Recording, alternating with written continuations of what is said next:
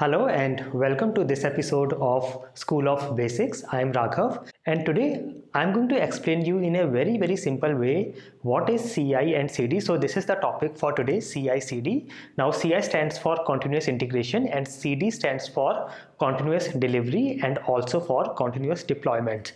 So let us see what exactly this is and after this video you can always explain CI CD to anyone with actual examples. So let's start and I will start with a real world scenario. In a project in a organization we have processes and it starts with a dev process. So any project any application uh, development any software project starts with a dev process. So we have a dev phase then we have a testing phase and then we have a deployment and release phase. So let me write down the phases so we start with dev, then we have test,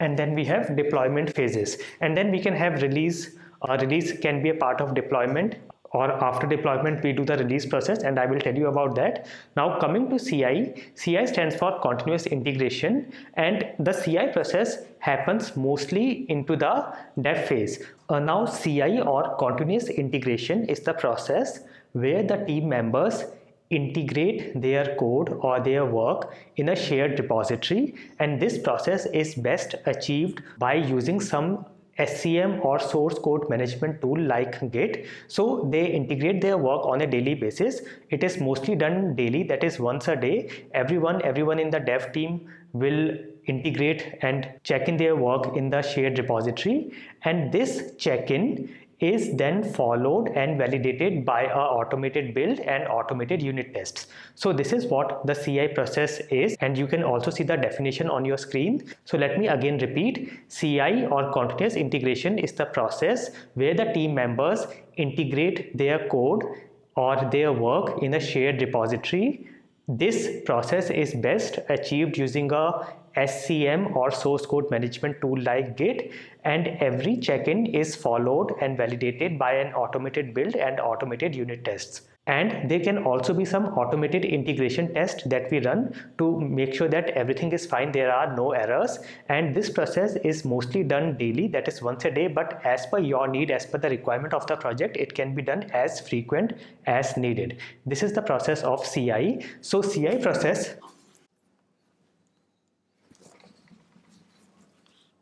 So the CI process is uh, expands from the dev phase until some part of the testing or the QA phase because most of the uh, tests are unit tests which are automated at the dev end and they are uh, they run automatically after the build or after there is an automated build.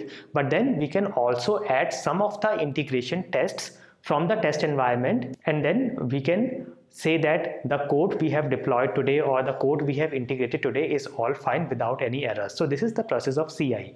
Now coming to CD or continuous delivery. Now after the CI process, if we also do a deployment on a production like environment it can be a qa or can be a staging environment and then we run some automated tests to ensure that this code this build is now ready to be deployed we call this process as continuous delivery. So basically the goal or the aim of continuous delivery process is to make sure that the build is always in a deployable state or a deployment ready state. So continuous delivery or CD expands from dev until the testing phase or the QA phase. And if I also include the environments here to make it even more clear so we have a dev environment. We have a test environment. We have staging. Now staging environment is a production like environment. It, it is sometimes also called as pre-prod environment or pre-production environment. And the goal here is that we create an environment or we keep our environment exactly like a copy of our production so that we, before deploying anything on the production we can check it on the pre-prod or the staging environment. And also if we want to check anything instead of going to the actual prod environment we can check it on the staging or the pre-prod environment. So we have a staging or pre-prod here and then we have a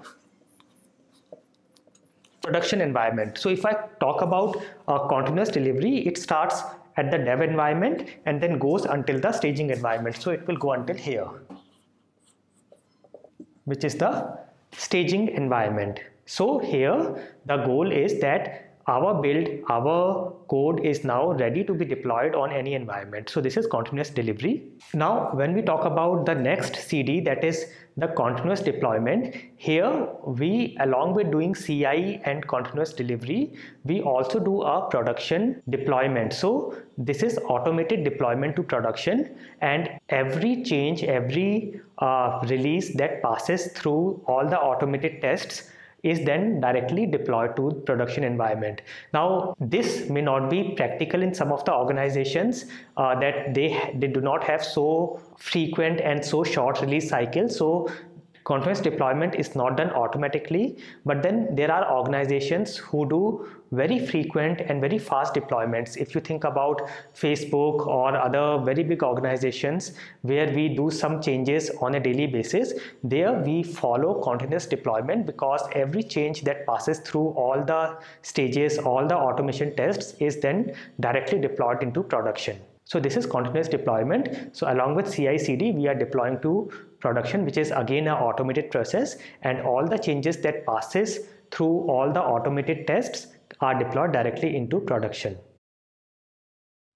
Let us now understand CI and CD in a very very basic ways in terms of the stages and the environment. So let us suppose we have these three very basic typical stages in any project that is build test and deploy. We also have a release stage but for now let us look at these three basic stages. When we talk about ci or continuous integration then ci expands from the build stage until some part of the testing stage because here we are doing the integration of the code and then after a successful build and code integration we also run some unit tests within the dev environment and can also run some functional tests from the QA environment to make sure that our integration, the integrated code is now working and there are no errors or no issues. So CI expands from the build to some part of the test stage. If I talk about CD that is continuous delivery, it includes the CI process and then we also deploy it on a pre-prod or a staging environment. So here the continuous delivery process will expand until the deployment stage. And now when we talk about continuous deployment in CD or continuous deployment, we do CI and CD that is continuous delivery. Plus we also do deployment on the actual production environment. So here we can say that we are also doing the release of our software to the final production environment. So CD or continuous deployment process will expand until the release stage. Now if I also include the environments that is the dev environment, the QA, the staging and the production environment. Now the CI process will expand until the QA environment. The CD or the continuous delivery process will extend until the pre-production or the staging environment and then the continuous deployment process will extend until the final production environment. So this is in the very very basic ways. This chart you can keep it in your minds forever and this is the complete process of CI and CD. So again if you see the uh, phases CI is mostly in the dev phase and can also expand until some part of the testing or the QA phase.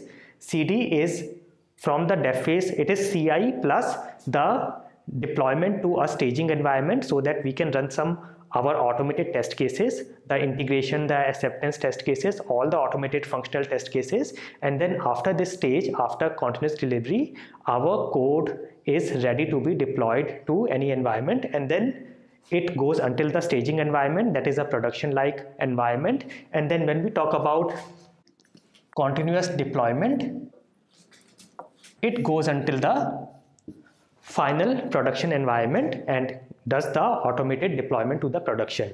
Now, after production, after deployment to production, we also have phases of monitoring and then also getting feedback and improving our code and improving our entire process. And that is when we actually integrate everything together and we call this complete process as DevOps, that is development and operations, which include all the uh, processes in a project management with all automated things every all the processes automated and linked and integrated with each other. But if we talk about ci cd continuous integration delivery and deployment this is what ci and cd is. And we also talk about a term called ci cd pipeline. So again this is the exact same thing that all these processes of ci and cd are integrated with each other. They have automated triggers like when the first process is completed and it is passed it will then trigger the second process. If it is completed and it is passed it will trigger the, the third process and so on. If we chain all these processes with an automated trigger we call it as a CI/CD pipeline. So I hope now all these terms are very clear to you. If you have any questions you can let me know in the comment section below. And also you can suggest me the next topic for School of Basics in the comments below. I will meet you in the next episode. Never stop learning